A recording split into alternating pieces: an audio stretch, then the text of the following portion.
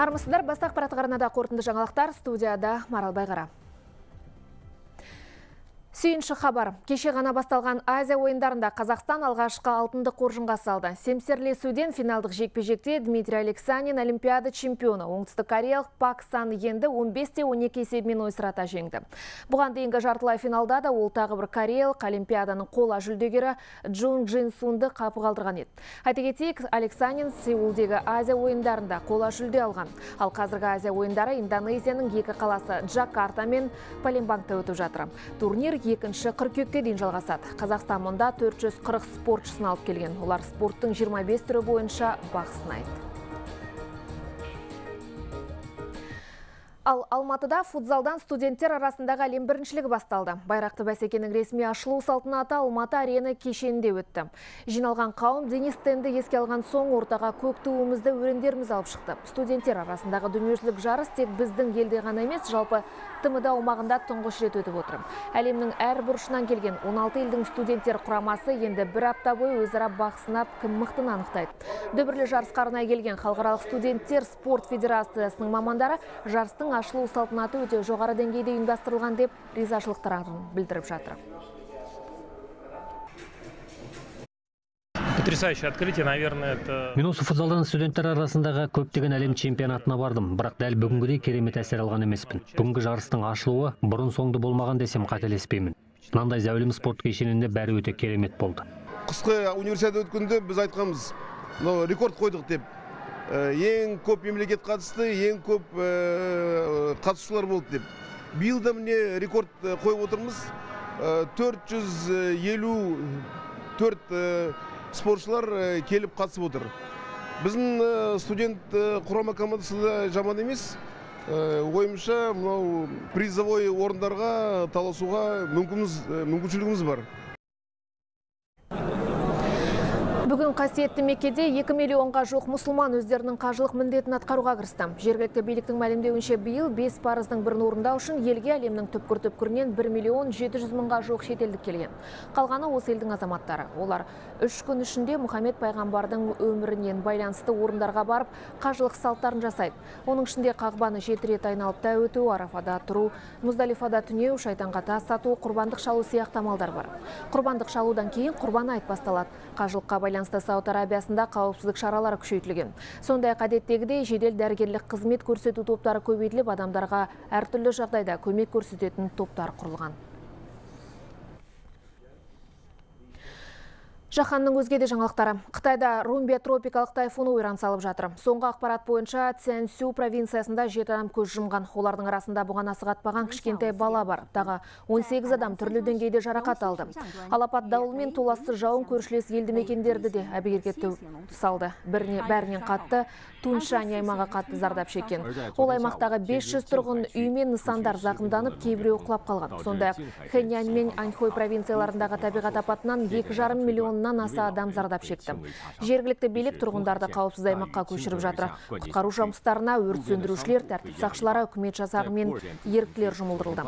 Айта кету керек, тайфун Қытайдың шығыс бөлігіне жұма күні жеткен еді. Синоптиктер алдағы күндері жауын шашынның басылмайтынын хабарлады. Индонезияның Ломбок аралында осы айда үшінші рет жер сілкінді. Қуаты 6 балдан асқан зілзала дүмпуі солтүстік жағалауда тіркелді. Әзірге қаза тапқандар мен жарақат алғандар туралы ақпарат жоқ. Алайда ғимараттарға зақым келген. Қазір мамандар оның көлемі мен шығынын анықтап жатыр. Еске сала кетейік, 5 тамызда да Ломбок аралында 7 балдық жер сілкінісі болып, оның артынша 5,4 және 4,3 балдық дүмпулер болды. Соңғы ақпарға сәйкес табиғи апат салдарынан 450 адам көз жұмған. Жұма күнгі қанды қақтығысқа жауап ретінде Израиль үкіметі Газа секторымен арада орналасқан РС бақылау бекетін жауып тастады. Жергілікті бұқаралық ақпарат құралдарының мәлімдеуінше тексеру пункті тек гуманитарлық қажеттілік туындаған кезде ғана ашылады. Ал мамандар бекеттің жабылуы жай ғана көз бояушылық әрекет дейді. Себебі палестиналықтар оны мүлдем қолданбайды. Айта кету керек, оралу шеруі атты наразылық акциясы Газа секторының әр ауданында 30 наурыздан бері жұма сайын өтіп тұрады. Қанды қақтығыс пен шабуылдар да басылмай тұр. Соңғы ақпарға қарағанда ереуіл салдарынан осы уақытқа дейін 160-тан аса палестиналық қаза тауып, 17 мыңнан астамы түрлі деңгейде жарақат алған.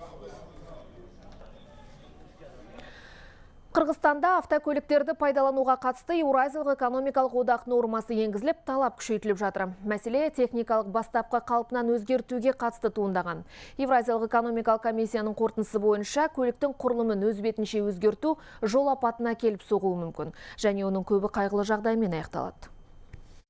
Статистикаға жүгінсек, 2017 жылы бір ғана Ресейде жол көлік апатынан 19 мың адам көз жұмды. Апат себептерінің қатарында түрлі техникалық ақаулармен бірге Еуразиялық экономикалық одақтың көлік қауіпсіздігі талаптарын бұзған жайттар да тіркелген. Сондықтан Қырғызстан билігі Еуразиялық экономикалық комиссияның ұсынысына жүгініп, көлікті қайта жөндеу немесе бөлшектерін өзгерту үшін арнайы тексеріс енгізді все изменения в конструкцию транспортного средства көлік құрылысындағы барлық өзгерістерді қарастыру кезінде біз эскизді жобаның тоғызыншы қосымшасына сүйенеміз. Бұл кеден одағы техникалық талаптарының көлік құралдарына қатысты өзгерістері. Ал егер көліктің құрылысы өзгермеген болса оның аспалы және қозғалмалы бөлігін ауыстыруға болады.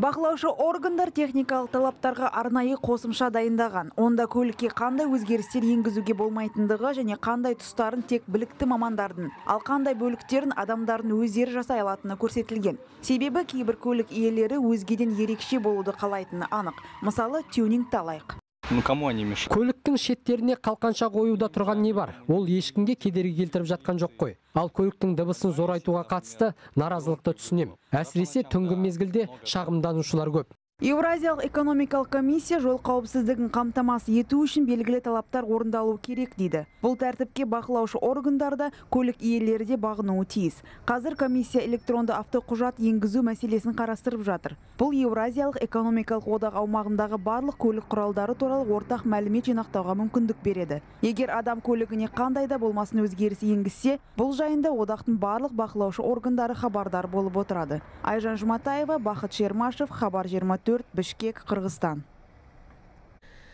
Каспий маңы мемлекеттерінің келісімі Транскаспий халықаралық көлік дәлізін дамытуға серпін береді. Бұл Қытай үшін жақсы жаңалық және бір белдеу бір жол бастамасы үшін жаңа мүмкіндіктер деп жазады Global Times. Сонымен қатар Каспий конвенциясы трансұлттық компанияларға тың мүмкіндіктер ашып, бірлескен транзиттік жобаларды жандандырады. Қытайлық сарапшылардың айтуынша Каспий бір белдеу бір жол бастамасына балама бағыт. Өйткені ол құрық пен теңіздегі сауда жолын жалғап отыр.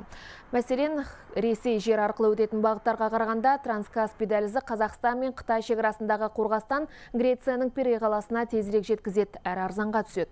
Грецияның афина қаласындағы контейнерлік терминалды басқаратын қытайдың коска шеппинг логистикалық компаниясы да транскаспий бағытын дамытуға бел буып отыр. Аталған компания қорғас шығыс қақпасында да негізгі инвестор. Қазақстанды ақтау конвенцияға қол қойылуы әлемге каспий аумағының бейбіт болатынын және көбірек инвестиция тартуға қолайлы екенін білдіртсе керек. Бұл еуразиялық сауда жолы кеңейіп оны дамытуға үлкен мүмкіндіктер ашылады деген сөз. Каспий конвенциясы мемлекеттер арасындағы мәселелерді өзара келісіп, ымырашылдықпен шешуге мүмкіндік береді. Ақтау саммиті аясында қабылданған шешім ең алдымен мұнай қорына байланысты түсініспеушіліктерді реттеп, мемлекеттердің достығын арттырады.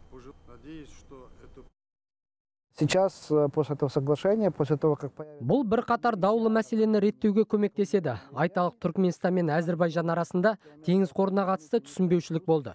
Каспийдің құқықтық мәртебесін анықтайтын құжаттан кейін бұл даудың оң шешімі табылып мемлекеттер арасындағы байланыс достық сипат алады деп ойлаймын.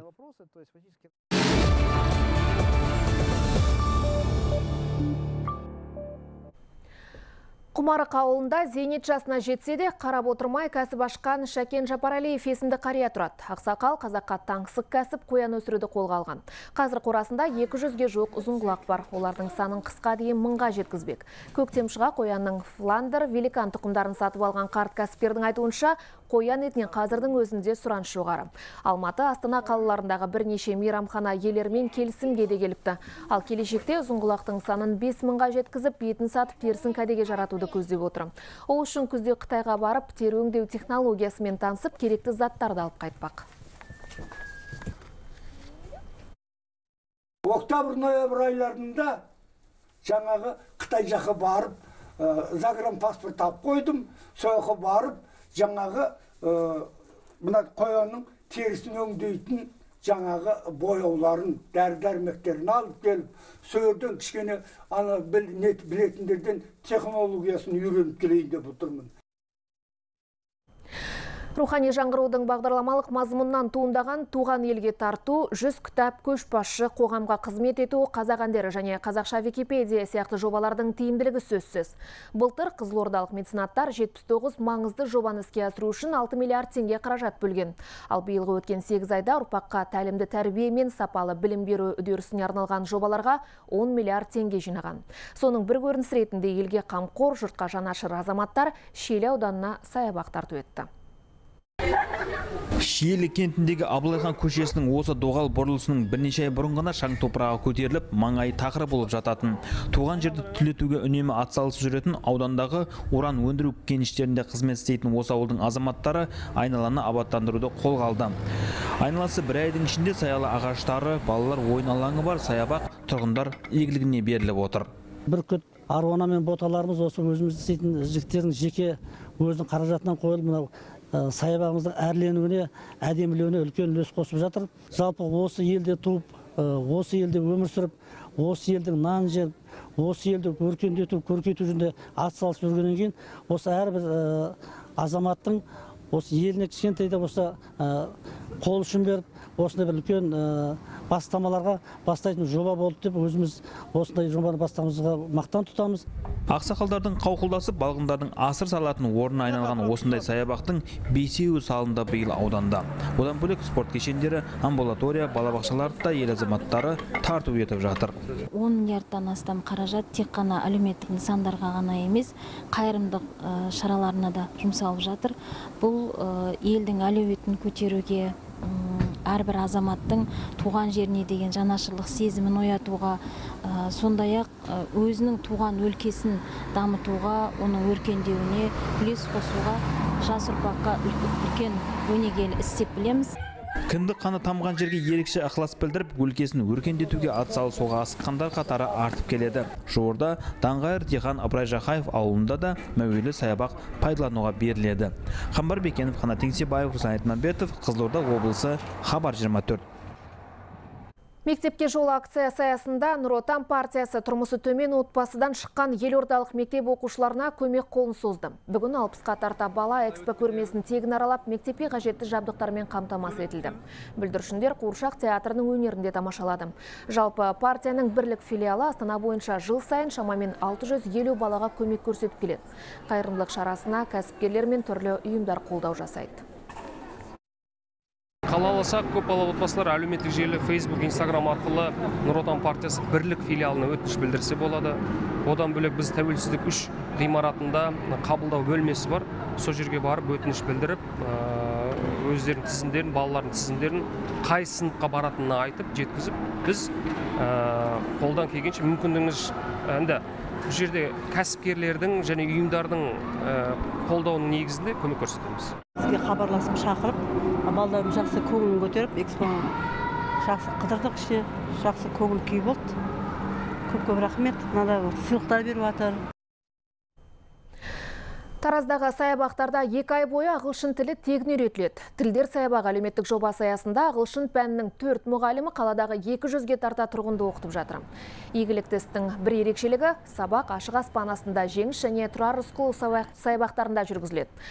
Аптаның дүйсенбісінен сенбі күндеріне дейін күндізгі сағат 11 мен 12-де және кешкі 8-ден 9-ға дейінгі аралықта халықаралық тілді кез келген жастағы азаматтар меңгере алады мен бұл ағылшынға келіп жүргеніме 5-6 күн болды. Маған бұл сабақ ұнайды әсіресе адамның атын қалай дұрыс айтылуы керек. Сандар тағы да басқа көптеген қызықты қызықты сабақтар болып жатыр. Келген күндерімнің ешқайсысына өкінбеймін. Ақмола облысындағы өндірістік шаһар Степногорға келген қонақтар мен қала тұрғындары енді маңайдағы зауыт фабрикаларды бір жерден танып біле алады. Себебі қаладағы тарихи өлкетану музейінен өнеркәсіптік кәсіпорындарға арналған зал ашылды. Мұнда жергілікті 13 ірі өндіріс ошағының шағын макеті мен олар өндіретін өнімдер қойылған. Жаңа залдан қарапайым тастан бастап түрлі бағалы металдарға бай рудалар кездеседі. Саф алтында көпшіліктің назарын аударады. Сонымен қатар мұнда өндірістік шаһардың өркендеуіне үлес қосқан жұмысшылардың портреті қойылды алдыңғы уақытта алдағы уақытта экспонаттар қатары толға түседі дейді мамандар. Осы степногор тұрғындарына келген қонақтар ресейден беларусь украина польша германиядан келген туысқандары құрбы жолдастары баяғыда мұнда жұмыс істеген тек қана таныстарына келген қонақтар біздің мұражайға э, жай емес кіріп кетті. Көрседі бірақ мынау жаңа біздің э, сәнге сай э, бөлмемізді залымызды көріп таңғалып жатыр қалай сақтадыңыздар қалай қызық барлығы деп Еліміздегі ең егде қолөнер шеберінің бірі Сыр өңірінің Жалағаш ауданында тұрады. Бүгінде 96 жасқа толған кейуана әлі күнге дейін түскейіз тігіп кілем тоқиды.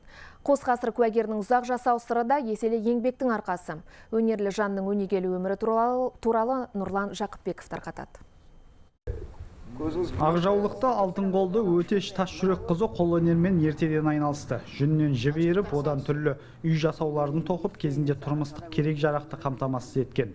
Тіпті соғыс жылдары сарбаздарға арнап қолғап шұлық та дайындапты. Табиғи таза дүниелердің бүгінде құны артпаса сәні кеткен жоқ.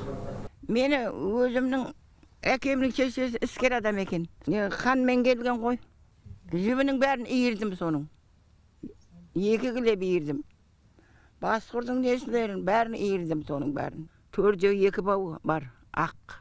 Соны иіріп өзім тоқыдым қай нәрсеге де төзімділік керек қой. Иә. Мейлі бақша ек мейлі үй тік содан анау кезде бір шамалы помидордың ішіндегі шөпті жұлып тұла бойым жеп жеңіл болып терілеп қара тер болып жақсы болып кеттім. Еңбектің еңбекқорлықтың соның пайдасы. Тоқсанның алтауына шықса да ширақ болуы еңбектің арқасы дейді әжей. Анамыз не істесе де өндіртіп жібереді деп перзенттері де мақтан тұтады. Расында қара шаңырақтағы бау бақшаның жайқала өсуі батыр ананың аялы алақаны мен шексіз мейірімінен болса керек. Тіпті ауладан сыр өңіріне жерсіне қоймайтын жаңғақ ағашын көріп біз де таңданысымызды жасыра алмадық. Мына жаңғақ енді бұл грек жаңғағы үлкен жаңғақ дейді сол бұл жерлерде өсе бермейді енді бұл осыны анамыздың еңбегі өзінің отыз жылдан асты еккеніне. Иә осыны баптап өсіріп қарағанның арқасында шығып тұр осы жаңғақ. Енді осы екінші жыл салуы кәдімгі базарда сатып тұрған жаңғақ сол иә кем емес одан артық болмаса. Өтеш тас жүрек қызы 11 құрсақ көтерді. Бүгінде ұрпағы кең қанат жайып немере мен шөберенің қызығын көріп отырған жайы бар. Өнері мен өсиетін өскелең жасқа үйретуден жалықпайтын қолөнер шеберін жергілікті ұйымдар түрлі шараларға құрметті қонақ ретінде шақырады екен. Қарты бар үйдің қазынасы бар деген осы болар. Нұрлан жақыпбеков әлхайдар тұрлыханов хабар 24 қызылорда облысы.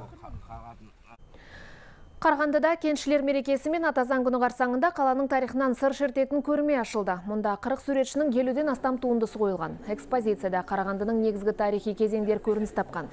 Бірегей туындылардың ішінде Аппақ Байжановтың алғашқы көмір тасты тауып алғаны бейнеленген жарқыраған тас шығармасы бар. Сонымен қатар көрмеге қалада пайда болған алғашқы үйлерден бастап қазіргі заманауи ескерткіштер де қойылған. Қарағанда индустриальная, Қарағанда архитектура. Индустриалды Қарағанды, сәулетті Қарағанды, ғылыми Қарағанды, мәдени Қарағанды. Бұл көрмеде кеншілер қаласы жан-жақты бейнеленген. Мұндағы әр туындыдан суретшілердің өз қаласына деген сүйіспеншілігін көруге болады. Қазақстан құрамасы мини-футболдан Европа чемпионатының күміс жүлдегері атанды. Киев қаласында өткен жарысқа кәрі құрлықтың кіл мықтылары қатысты. Қазақстан жартылай финалға жолдама алғаннан кейін Румыния командасымен кездесті. Футбол сарапшылары мен жанкүйерлердің айтуы бойынша Евро чемпионатындағы ең әдемі және әсерлі ойынды осы елдің командалары көрсетті. Қазақстан құрамасының аяғы допшылары Румыниямен болған кездесуде 2-2 есебімен тең түскенмен пенальти кезеңінде ұтылып қалды. Алайда үшінші орынға таласта Қазақстан Англия аяқ допшыларынан 2-де 0 есебімен жеңіп, Европа чемпионатының күміс жүлдегер атанды. Мини футболдан Европа чемпионатын анықтайтын ақтық сайыста Чех және Румыния командалары кездесті есеп 4-1. Чех командасы румындықтарды ойсырата жеңіп, Европа чемпион атанды. Бүгінгі екінші ойынға біз балармен өте қатты дайындалдық. Біздің бапкеріміздің нұсқауымен екінші ойынға бар жігерімізді қолымызға жинап, ойындарын тактикасын қарастырып жеңіске жеттік. Редакциямызға келіп түскен ақпараттар леп осындай болды. Арнамыздан алыстамаңыздар.